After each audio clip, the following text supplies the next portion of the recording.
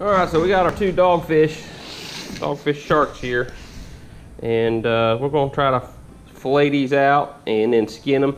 Um, it's interesting, on the skin you go one way, it's silky smooth, and then go the other way. Severe tire damage or uh, feels like sandpaper as people would say. So we're gonna get into it now. Now I don't have a short fillet knife, so I got my deboning knife. And we're gonna come I'm gonna come right here behind the gills and try to get below, you know, get started.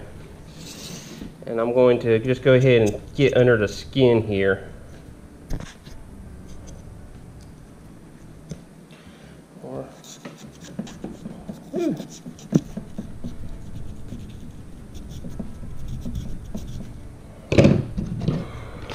get, get it started.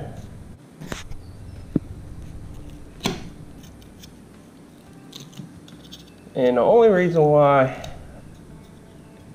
well, it's kind of hard to go out there and justify spending all the money to not come back with something. And I would say, you can see that is some of the whitest meat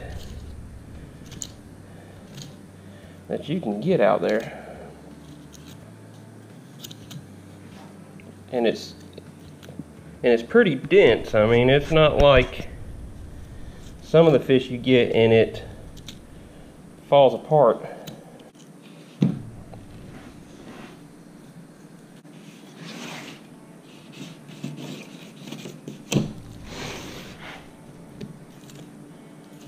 This is the first time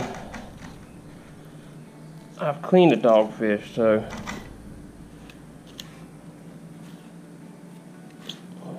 there's its stomach. Well, I'd have to say it's a little bit easier to clean this than a fish because there's not a set of belly bone right there. That's all meat. And it looks like all good meat too. And my plan is to make dogfish nuggets.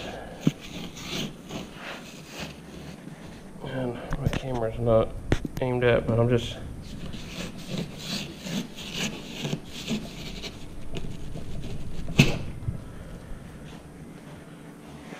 with good looking fillet right there.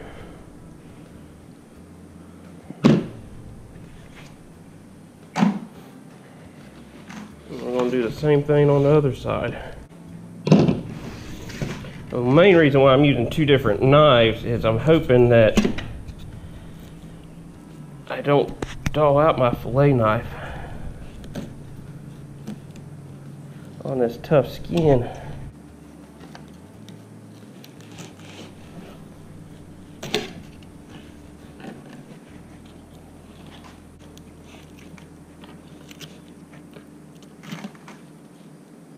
I don't even feel a bone on there. I gotta get that anus.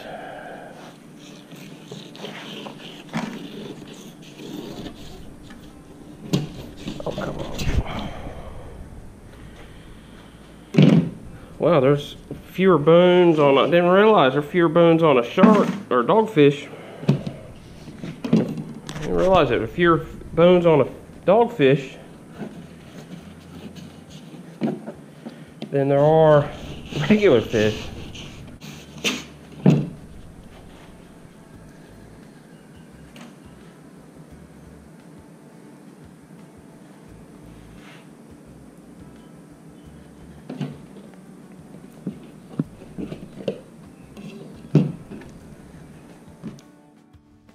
What surprised me was how white uh, these fillets were.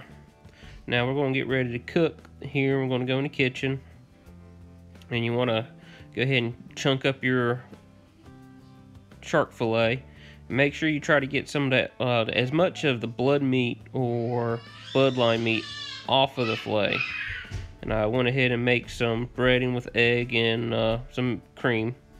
And I'm using Autry House seafood seasoning as my breading.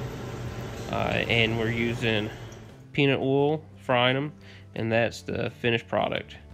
And here is me giving the taste test with the thumbs up approval, my wife being silly, taking a whole bunch of pictures.